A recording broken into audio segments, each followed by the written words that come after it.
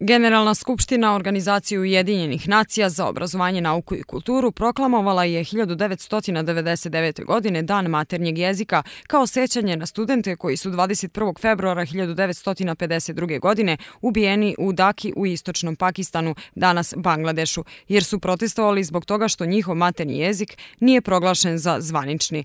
U našoj zemlji ima više od 30 nacionalnih manjina, a zakoni u oblasti obrazovanja poseban akcenat pridaju obezbeđivanju kvaliteta kvaliteta obrazovanja dece pripadnika manjinskih grupa.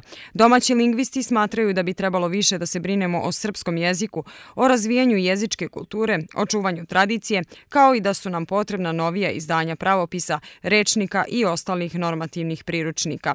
Ipak, prema oceni stručnjaka, nije verovatno da ćemo doći do jednojezične civilizacije, ali treba više da radimo na podizanju jezičke kulture i pismenosti, u čemu bi, kako smatraju, škola morala da ima značajniju ulogu.